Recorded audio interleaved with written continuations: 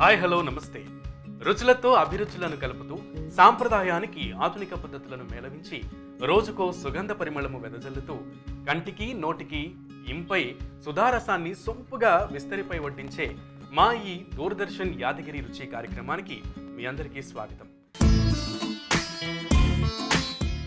So ఈరోజు మనం మధురానగర్లోని ఉప్పల నిర్మల గారింటికి వచ్చేసాం. నిర్మల గారు నమస్తే అండి. నమస్తేనండి. సో నమస్కారం. ఈరోజు మా ప్రేక్షకుల కోసం మీరు ఏ ఏ వంటకాలని పరిచయం చేయబోతున్నారు? నేను ఈరోజు నాటుకోడి కూర పులుసు తయారు చేసి చూపిస్తానండి ప్రేక్షకుల గురించి.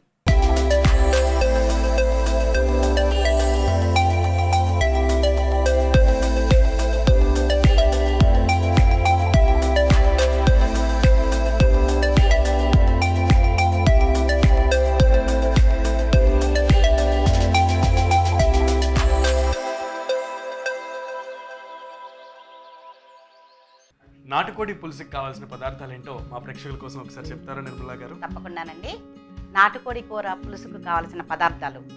నాటుకోడి కూర ముక్కలు ఉల్లిగడ్డ అల్లం వెల్లుల్లి పేస్టు ఉప్పు పసుపు కారం కాజు గసాలు ఎండు కొబ్బరి లవంగాలు యాలుకలు సాజీరా ధనియాలు దాల్చిన చెక్క పెరుగు మంచినీళ్ళు నూనె కొత్తిమీర పచ్చిమిర్చి. సో నాటుకోడి పులుసుకి కావాల్సిన పదార్థాలు ఏంటో మీరు చెప్పారు. ఇప్పుడు తయారు చేసి చూపిస్తారా? చూపిస్తానండి. ముందుగా నాటుకోడి పులుసుకి మసాలా తయారు చేసుకోవాలండి. అది ఎలా తయారు చేసుకోవాలంటే నేను మీకు చూపిస్తాను. ముందుగా ఒక మిక్సీ జార్ తీసుకోవాలండి. ఓకే. మిక్సీ జార్ లోపల గసాలండి. గసాలు ఒక స్పూను. కొలతలా మేడం? చికెన్ ఒక హాఫ్ కేజీ తీసుకున్నానండి. ఓకే. ఒక స్పూన్ గసాలు. హాఫ్ కేజీకి ఒక స్పూన్ గసాలు వేసారు గసాలు. గారు. ఒక స్పూన్ ధనియాలు. కొద్దిగా సాజీరానండి ఇది. ఓకే.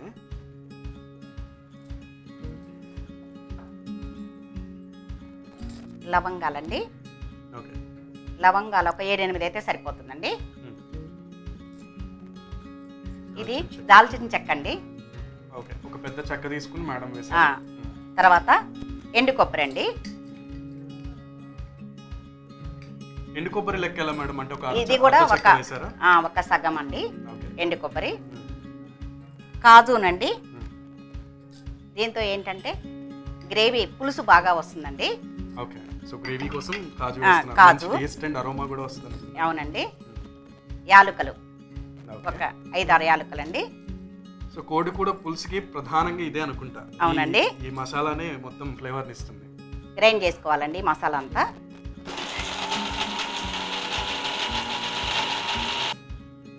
తర్వాత ఇది కొంచెం మెత్తగా అయిన తర్వాత దీంట్లో ఉల్లిగడ్డలు ఇవ్వరండి. ఇందులో సగం ఉల్లిగడ్డ కూడా పేస్ట్ చేయాలండి. ఓకే. సో ముక్కలుగా కట్ చేసుకున్న ఉల్లిపాయలు కూడా ఉల్లిపాయలు కూడా గ్రైండ్ చేయాలి. పేస్టీ టెక్స్చర్ వస్తుంది. పేస్ట్ వస్తుంది. అంటే వాటర్ లేకుండా. ఓకే. అదే నీళ్ళు అనేది పోయలేదు. మసాలాలో మేడం. సో నిర్మలా గారు నీళ్ళు పోయకుండా ఉల్లిపాయని అందులో ఉండే వాటర్ కంటెంట్తో పేస్ట్లా చేస్తున్నారు. అవునండి.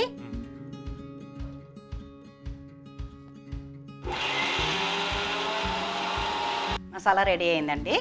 ఓకే. ఇలా పేస్ట్ లాగా కావాలండి.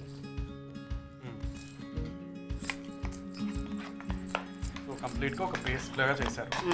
కాకపోతే అందులో వాటర్ వేయలేదు. వాటర్ అక్కర్లేదండి. ఆనియన్తో చక్కగా పేస్ట్ లా చేశారు. సో నాటుకోడి పులుసుకి కావాల్సిన మసాలా అయితే రెడీ చేశారు నిర్మలా గారు. నెక్స్ట్. ప్రాసెస్ ఏంటి? ఏం లేదండి. తర్వాత నాటుకోడి కూర ముక్కలు తీసుకొని ఈ మసాలా అంతా పట్టించాలండి. ఒక బౌల్ తీసుకొని నాటుకోడి కూర ముక్కలు. శుభ్రంగా కడిగి పెట్టుకున్నానండి. ఇది నాటుకోడి కూర ఏంటంటే ఇది తీసుకొచ్చేటప్పుడే కట్ చేసే ముందే కాల్చి కట్ చేశారండి. కోడిని. అప్పుడు చాలా టేస్టీ ఉంటుంది. అల్లం వెల్లిపాయ పేస్ట్ అండి. కొంచెం. ఓకే. నాటుకోడి ముక్కల్లో ఫస్ట్ అల్లం వెల్లుల్లి పేస్ట్ వేశారు. అవునండి. తర్వాత ఏం వేస్తున్నారు? కొంచెం కారము ఒక రెండు స్పూన్లు అండి. అంటే ఒక్కొక్కరు ఎక్కువ తినొచ్చు తక్కువ తినొచ్చు. మీ టేస్ట్ని బట్టి మీరు వేసుకోండి. ఓకే. అంటే నాటుకోడి పులుసులో జనరల్గా జనరల్గా కారం ఎక్కువ ఉంటుంది. అది. నేను ఒక త్రీ స్పూన్స్ వేసానండి. మీ టేస్ట్ బట్టి కూడా మీరు వేసుకోవచ్చు. పసుపు. ఒక స్పూన్ పసుపు అండి. ఉప్పు ఒక రెండు స్పూన్స్. త్రీ స్పూన్స్ కారం వేశారు రెండు స్పూన్లు ఉప్పు వేశారు. ఉప్పు పెరుగు. మెయిన్ ఇంగ్రీడియంట్ ఆ, అంటే ఇది. పెరుగు అండి ఓకే. పెరుగు కొంచెం. పుల్లటి పెరుగు అయితే చాలా బాగుంటుంది. జనరల్గా పెరుగు. పులియబెట్టింది ఉంటది కాబట్టి ఆ టెక్స్చర్ ఆ టేస్ట్ కూడా నాటుకోడి. ముక్కలకి పడుతుంది. అవును పెరుగు. ఓకే. తర్వాత మనము గ్రైండ్ చేసుకున్న మసాలా ఉంది కదండి? అది కూడా ఇందులో వేయాలి. ఓకే. సో ఈ ఉప్పు కారం అలాగే అల్లం వెల్లుల్లి పేస్ట్ పెరుగు వేసిన తర్వాత ముందుగా మనం పెట్టుకున్నటువంటి అసలైన ఇంగ్రీడియంట్ మసాలా ఏదైతే మసాలా. ఉందో ఆ మసాలాని ఇప్పుడు మిక్స్ చేయబోతున్నారు. అవునండి.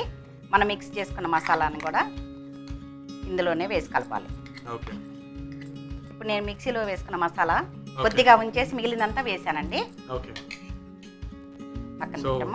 మసాలా ఇది ఇది ఎప్పుడు వాడతారు? ఇది తర్వాత ఆయిల్ లోపల ఫ్రై చేస్తానండి. సగమేమో దీంట్లో మిక్స్ చేస్తాను తర్వాత వేస్తాను. సో అందులో ఆయిల్ ఏమన్నా కావాలా? ఇది తర్వాత అక్కర్లేదు. ఇది అయిన తర్వాత కొద్దిగా వేస్తాను. ఇప్పుడు ఇదంతా బాగా కలపాలండి. ఇలా. సో ముక్కలకి బాగా ఈ మసాలా అంతా మసాలా పట్టేదాకా అంతా కట్టాలి. పట్టేదాకా కలపాలి. దీన్ని ఏమన్నా సాధారణంగా మనం ఫ్రైస్ చేసుకున్నప్పుడు మ్యారినేట్ చేస్తూ ఉంటాం కదా ఫ్రిడ్జ్లో పెట్టి దీనికి నాటుకోడి పులుసులకి అవసరం లేదండి. అవసరం లేదు? అవసరం లేదు. ఫ్రైకి అయితే కొంచెం సో మంచి టైం సేవింగ్ కూడా. గమనించండి. సో కాసేపు అక్కడ ఇక్కడ పెట్టాల్సిన అవసరం లేదు. చేయాలి. నాలాంటి వాళ్ళు అయితే అసలు ఆగలేదు ఇది మంచిగా కలపాలండి. ఓకే. ఇప్పుడే ఆ మసాలా ఫ్లేవర్ అంతా కూడా నాకు బాగా తెలుస్తుంది. నోట్లో కూడా మౌత్ వాటరింగ్ అయితే అవుతుంది. యా ఇది కలిపాం కదండి. ఇది దీన్ని పక్కన పెట్టుకుందాం. ఓకే. సో నాటుకోడి ముక్కలకి మసాలా అంతా చక్కగా దట్టంగా పట్టించారు. అవునండి. ప్రతి ముక్కకి కూడా మసాలా అంటేలాగా. సో దానికి దాని పక్కన పెట్టుకుందామా? ఇది పక్కన పెట్టుకుందాం. ఓకే. నిర్మల గారు మొత్తానికి ముక్కలన్నిటికీ కూడా మసాలాని పట్టించి పెట్టారు. నెక్స్ట్ ప్రాసెస్ ఏంటి? స్టవ్ వెలిగించుకొని కుక్కర్ పెట్టుకోవాలండి. ఓకే. ఆయిల్ వేయాలి. ఆయిల్ ఎంత వేస్తున్నారు జనరల్గా దీనికి ఆయిల్ అంటే క్వాంటిటీ అంటే ఏం లేదు కానీ జస్ట్ ఒక సెవెన్ ఎయిట్ స్పూన్స్ కంటే ఎక్కువే పడుతుంది. ఇది నాటుకోడి కూర కాబట్టి. కొద్దిగా ఎక్కువ ఆయిలే పట్టుద్ది. టేస్టీగా కూడా టేస్టీగా ఉంటుంది కొంచెం వేగాలి ఓకే. సో నాటుకోడి ఆ పచ్చివాసన పోయేదాకా ఏగాలి కాబట్టి అవును. కొంచెం ఎక్కువ ఆయిలే పడుతుంది. ఎక్కువ ఏం పడుతుందండి? హాబీస్ ఏంటి? హాబీస్ అంటే మొక్కలు పెంచుతామండి ఎక్కువగా. సో ఇంటి చుట్టూరు కూడా నాకు చాలా మొక్కలు కనపడి నేను ఎంటర్ అయ్యేటప్పుడే అనుకున్నాను. Gardening interest. చాలా మంచిది కూడా. ఈ పొల్యూటెంట్ వాతావరణంలో చాలా కలుషితం అయిపోతుంది ఎయిర్ కూడా అన్నప్పుడు ఇటువంటి మొక్కలు ఇంట్లో పెంచుకోవడం మనం తీసుకునే గాలి కూడా చాలా. మంచిగా వస్తుంది.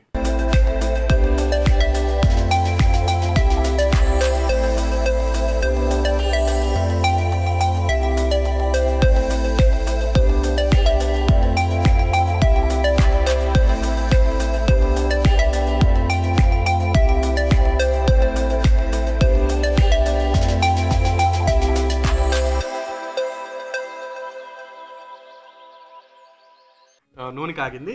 మనకి ఇంకా మిగిలిన ఉల్లిగడ్డ పచ్చిమిరపకాయలు ఉన్నాయి కదండి. అవును కట్ చేసి ఇవి కట్. చేసుకున్న ముక్కలు. ఇవి వేయాలండి. అవెంత క్వాంటిటీ ఇది అంటే మనము నాలుగు ఉల్లిగడ్డలు తీసుకుంటే హాఫ్ ఏమో? మిక్సీ పెట్టానండి. ఇంకో సగమేమో ఉల్లిగడ్డ ఓకే. దేంట్లో వేయాలి. సో రెండు ఉల్లిగడ్డలేమో కూరలోకి అవును. రెండు ఉల్లిగడ్డలేమో మనం? మిక్సీలో మసాలాకి వేసుకున్నాం. నూనె కాగింది చక్కగా కాగిందండి. సౌండ్ వస్తుంది. తర్వాత దీంట్లోకి కొంచెం అంతా సాజీరానండి స్మెల్ గురించి. ఆ నీచు వాసన ఏదన్నా ఉన్నా రాకుండా. సో నెక్స్ట్ ఏంటి? నెక్స్ట్ బాగా వేగాలండి. వేగిన తర్వాత ఇందులో బ్రౌనిష్ కలర్ వచ్చేదాకా వేగాలి? కొంచెం బ్రౌనిష్ రావాలండి. Okay. So golden brown colour వచ్చేదాకా ఎగితే కొంచెం అంటే జనరల్గా బిర్యానీలో మనం అటు అప్పుడు దాకా ఆగుతాం ఎందుకంటే ఎక్కువ మ్మ్. సో నిర్మల గారు ఆనియన్స్ వేగడానికి టైం పడుతుంది కాబట్టి ఈ లోపు మా ప్రేక్షకుల కోసం ఏదైనా టిప్ చెప్తారా? తప్పకుండానండి చిన్నపిల్లలకి సాధారణంగా జలుబు దగ్గు వస్తూ ఉంటుందండి. ఒక తమలపాకు తీసుకోవాలండి. తమలపాకు తీసుకొని దీనికి మొత్తం విక్స్ వేపరపు కానీ లేదంటే ఆముదమైనా సరే తీసుకొని రాయాలి మొత్తం. రాసిన తర్వాత ఒక పెనం పెట్టేసి ఇలా వేడి చేయాలండి పెనం మీద. అడుగు భాగం వేడి చేసేసి పిల్లలకి ఏం చేయాలంటే ఛాతీకి ఛాతీ మీద నెత్తి మీద. రెండు పెడితే పెట్టేస్తే ఆ వేడికి ఈ విక్స్ వేపరప్కి దీనికి చాలా త్వరగా తగ్గిపోతుందండి. నైస్ అండి. చాలా మంచి టిప్ చెప్పారు. ఎందుకంటే ఈ పాండమిక్ టైంలో నిజంగానే చిన్నపిల్లలకి జ్వరం వస్తే చాలా మంది భయపడుతుంటారు. సో మంచి టిప్ చెప్పారు. చాలా యూస్ఫుల్ అందరూ కూడా పాటించండి. చిన్నపిల్లలకి జలుబు జ్వరం వస్తే కనుక మేడం చెప్పిన టిప్ ఖచ్చితంగా ఉపయోగపడుతుంది. సో మేడం ఆనియన్స్ కూడా వేగిపోయినట్టున్నాయి. అవునండి. So, ఇప్పుడు మంచి గోల్డెన్ గోల్డెన్ బ్రౌనిష్ కలర్ వచ్చింది. Brownish colour వచ్చిందండి. నెక్స్ట్ నెక్స్ట్ మనము ఇది చేసుకున్నాం కదండి మిక్సీ చేసుకున్న తర్వాత మిగిలినది ఆఫ్ ఈ మసాలా కూడా ఇందులో వేసుకొని ఫ్రై చేయాలండి. ఓకే. సో ఇందాక మనం ఏవైతే చికెన్ ముక్కలకి పట్టించామో ఆ మసాలాలో కొంచెం సపరేట్గా పెట్టారు నిర్మలా గారు. ఆ సపరేట్గా పెట్టిన మసాలాని ఇప్పుడు ఇది నూనెలో వేయించి వేసి వేయిస్తున్నారు అనమాట అవునండి. కొద్దిగా పసుపు. ఒక హాఫ్ స్పూన్. Half spoon. అందులో వేసాను కదండి పసుపు. ఇందులో కూడా కొంచెం ఇందులో ఉప్పు ఏం అవసరం లేదా? ఇందులో అవసరం లేదండి. మనం కలిపిన దాంట్లోనే వేసాను.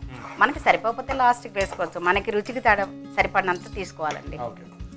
మంచి కలర్ కూడా కనబడుతుంది పసుపు వేసిన తర్వాత మీరు. అవునండి. చూసారా? గ్రేవీ. ఇప్పుడే మసాలా ఫ్లేవర్ అంతా వేయిస్తున్నప్పుడు మంచి వస్తుంది. అవునండి. సో ఎంతసేపు పడుతుంది ఇది వేగడానికి? జస్ట్ ఫోర్ ఫైవ్ మినిట్స్ అండి. ఓకే. ఆల్రెడీ ఆనియన్స్ ఫ్రై అయిపోయినాయి. ఇది కూడా మీరేం చేసేవాళ్ళు? నేను టీచర్గా చేసి రిటైర్ అయ్యానండి. Oh? సో ఇద్దరు కూడా రిటైర్డ్ ఎంప్లాయీస్. యూజువల్గా మీకు టైం ఇప్పుడు ఎక్కువ దొరుకుతూ ఉంటుంది కదా? అవునండి. సో ఏమైనా ప్లాన్స్ చేస్తూ ఉంటారా? నాకు పిల్లలకి టీచ్ చేయటం అంటే చాలా ఇష్టం. ఓకే. సో అందు గురించి పిల్లలందరికీ ఈవినింగ్ ఒక టెన్ ఫిఫ్టీన్ మెంబర్స్ వస్తారండి. వాళ్ళకి చెప్తూ ఉంటాను. సో మనం ఇందాక కలిపి పెట్టుకున్నటువంటి చికెన్ ముక్కల్లో మసాలా ఏదైతే కలిపి పెట్టుకున్నామో దాన్ని ఇప్పుడు అది ఇప్పుడు ఇందులో వేయాలండి. ఓకే. ఫ్రై చేసిన దాంట్లో ఇది కూడా వేయాలి. చికెన్ ముక్కల్ని ఫ్రై చేసిన మసాలాలో వేస్తున్నారు. అవును.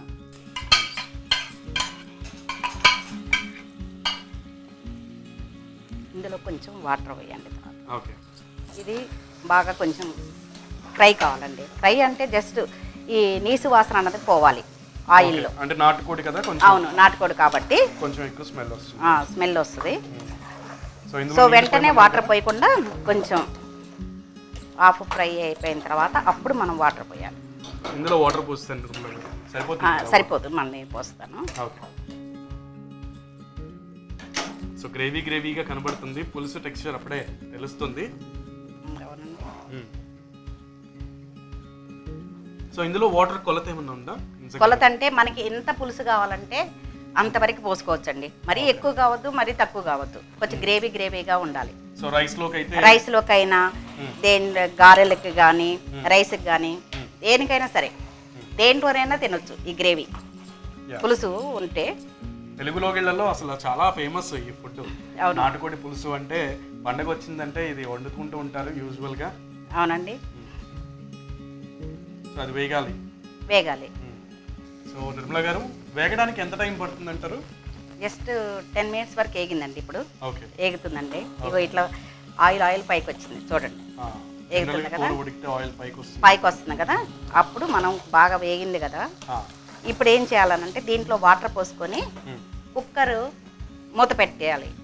ఆ మూత పెట్టిన తర్వాత ఒక సిక్స్ సెవెన్ విజిల్స్ రావాలండి. అప్పటి వరకు మూత పెట్టాలి. నాటుకోడి కాబట్టి కొద్దిగా ఎక్కువ విజిల్స్ రావాలి. ఇప్పుడు ఇది ఫ్రై అయిందండి. ఉమ్, ఈ నాటుకోడి కూరకి ఏంటంటే కొంచెం కారం ఎక్కువే కావాలండి. నేను ఇది కొద్ది కారం ఇంకా కొంచెం వేస్తానండి. కావాలంటే ఎవరికి తగ్గట్టు స్పైసీ ఎక్కువ ఉండాలి దీనికి. ఉమ్, అందుకొరకు సో ఇంకొక హాఫ్ స్పూన్ కారం వేసారండి. ఇది ఇందులోనే ఫ్రై అయిపోతుంది. జనరల్గా నాటుకోడిని ఇష్టపడే వాళ్ళందరూ స్పైసీగానే ఇష్టపడుతూ ఇప్పుడు కలిపేసాను. అందుకని వేగండి కారం కూడా ఇంకొంచెం ఎక్కువ వేశారు. మ్మ్. చాలు. ఇది ఇప్పుడు ఈ వాటర్ ఇవ్వండి. ఈ పోసేసేయండి. సో ఇందులో పోసేయమంటారు? ఓకే. ఒక రెండు గ్లాసుల వాటర్. ఇది మొత్తం. ఈ మసాలా కూడా ఉంది కదా? ఆ. సో రెండు గ్లాసులు వాటర్ పోస్తున్నారు మొత్తం. అవును. నిర్మల గారు ఇంట్లో కూడా యూజువల్గా కుక్ చేస్తూ ఉంటారా? ఆ, తప్ప. చేస్తానండి. పిల్లలకి ఇష్టమైంది. ఇంట్లో వాళ్ళకి. ఇష్టమైంది చేసి పెడుతుంటారా. ఇప్పుడు ఇందాక ఒక గ్లాస్ పోసాను కదండి? ఇంకో గ్లాసు కూడా. సో మొత్తం two glasses of water water half KG. Chicken అన్నారు కదా. పులుసు ఎక్కువ కావాలనుకున్నాం కావాలి. ఎక్కువ వాటర్ వేసుకోవచ్చు అని. ఇప్పుడు ఒక సిక్స్ సెవెన్ విజిల్స్ రావాలండి. Hmm. మనం కుక్కర్ మూత పెట్టేస్తాం.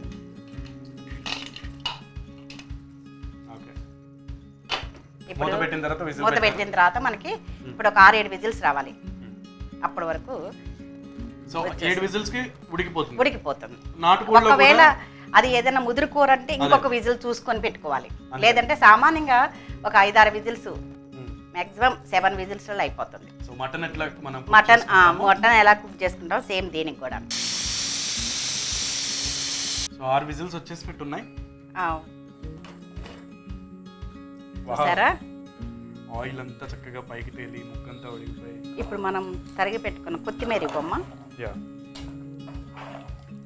సో ముందుగానే తరిగి పెట్టుకున్నటువంటి కొత్తిమీరని కొత్తిమీర. గార్నిష్ చేస్తున్నాను. చేస్తున్నాను. కొత్తిమీర వేసుకున్న తర్వాత అండి ధనియాల పొడి ధనియాలు అంటే వేయించిన ధనియాలండి ఇవి పచ్చి ధనియాలు కాదు. వేయించిన ధనియాలలో ఒక రెండు లవంగాలు వేసి నేను మసాలా తయారు చేసి పెట్టుకున్నాను. గ్రైండ్ చేసి పెట్టుకున్నా. అది లాస్ట్ ఫైనల్ అన్నట్లు. ఇంకా ఎక్స్ట్రా అరోమా యాడ్ అవుతుంది. అరోమా యాడ్ అయితే ధనియాల పొడి. సో వేయించిన ధనియాలు అందులో రెండు లవంగాలు వేసి పక్కన పెట్టుకున్నారు. అది అది వేసిన తర్వాత యూజువల్గా కర్రీస్లోకి వాడుతూ ఆ, ఉంటాం వాడుతూ ఉంటాను. మటన్ కర్రీ కానీ దేనికైనా సరే. Wow wow wow. What texture నిజంగా ఎంత బాగుందో. అయిపోయిన రెడీనండి డిష్లో తీసుకుందాము. Okay fine so dish out చేసేసుకుంటాం dish out చేస్తాను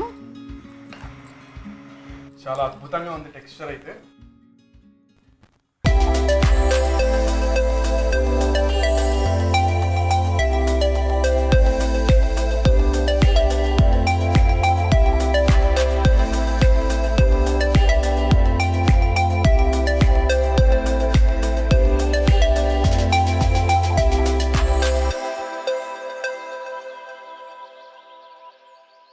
సో చూసారు కదా నాటుకోడి పులుసు అయితే రెడీ అయిపోయింది. దీన్ని టేస్ట్ చేసి ఎలా ఉందో చెప్పే ముందు దీనికి కావాల్సిన పదార్థాలు తయారు చేసే విధానం మరొకసారి మీకోసం.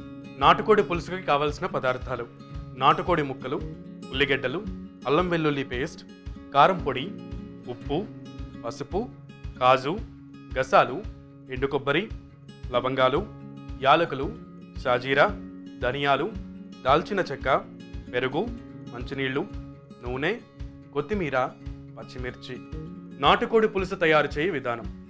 ముందుగా నాటుకోడి పులుసు తయారు చేయడానికి మసాలా తయారు చేసి పక్కన పెట్టుకోవాలి. మసాలా తయారు చేయ విధానం. గసగసాలు ధనియాలు షాజీరా లవంగాలు ఎండు కొబ్బరి కాజు యాలకులు దాల్చిన చెక్క వేసి మెత్తగా గ్రైండ్ చేసి తర్వాత ఉల్లిగడ్డ కూడా వేసి గ్రైండ్ చేయాలి. తయారైన మసాలా మిశ్రమాన్ని పక్కన పెట్టుకోవాలి. నాటుకోడి పులుసు తయారు చేయ విధానం. నాటుకోడి ముక్కలని శుభ్రంగా కడుక్కుని నీరు లేకుండా చేసి అల్లం వెల్లుల్లి పేస్ట్ వేసి కారం పసుపు ఉప్పు ముందుగా గ్రైండ్ చేసి పెట్టుకున్న మసాలా మొత్తంని వేసి బాగా కలపాలి. కలిపిన మిశ్రమాన్ని మొత్తం పక్కన పెట్టుకోవాలి. ఆ తర్వాత స్టవ్ వెలిగించి స్టవ్ మీద కుక్కర్ పెట్టి నూనె పోసి నూనె కాగిన తర్వాత కొద్దిగా ఉల్లి ముక్కలు పచ్చిమిర్చి అల్లం వెల్లుల్లి పేస్ట్ వేసి కొద్దిగా వేయించి మసాలా పట్టించిన ముక్కలను వేసి బాగా వేయించుకోవాలి. తర్వాత రెండు గ్లాసులు నీళ్ళు వేసి మూత పెట్టి ఐదారు విజిల్స్ వచ్చిన తర్వాత కొత్తిమీర ధనియాల పొడి వేసి దించేయాలి అంతే నాటుకోడి పులుసు రెడీ.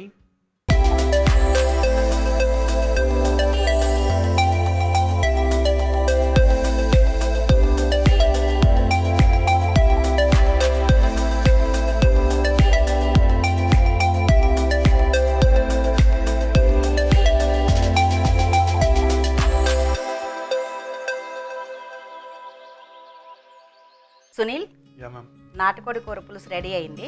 ఎక్సలెంట్ చూస్తేనే నోరు ఊరిపోతుంది. సో టేస్ట్ చూస్తావా సునీల్? నేను ఒక్కడే కాదు మీ ఫ్యామిలీ మెంబర్స్లో ఎవరైనా ఉంటే ఇద్దరం కలిసి టేస్ట్ చూస్తాం.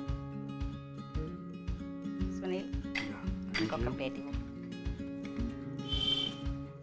టేస్ట్ మాత్రం చాలా బాగా వచ్చింది ఉప్పు సరిపోయింది ముక్క కూడా చాలా మెత్తగా ఉడికింది అత్తయ్య. చాలా బాగుంది. థ్యాంక్ యూ థ్యాంక్ ఎంత యూ బాగుందో. దీంతో కారలు అన్నం కాంబినేషన్ Perfect. సూపర్ ఉంటది ఇంకా. సునీల్ సో నీకు ఎలా నేనైతే- ఉంది? నేనైతే కాంప్లిమెంట్ అంతకంటే బెస్ట్ ఇవ్వలేను.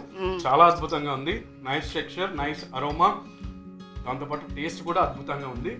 ఇంట్లో రైస్ ట్రై చేయండి గారి ట్రై చేయండి. ఖచ్చితంగా అద్భుతంగా ఫీల్ అవుతారు. చాలా మంచి ఎక్స్పీరియన్స్ అయితే మీకు ఉంటుంది నిర్మలా గారు చాలా ధన్యవాదాలు మీకు. ధన్యవాదాలండి. సో చూసారు కదా ఇది ఇవాళ డిడి యాదగిరి రుచి ప్రోగ్రామ్ మరో ప్రోగ్రామ్తో మళ్ళీ కలుద్దాం. అంతవరకు చూస్తూనే ఉండండి. డిడి యాదగిరి రుచి.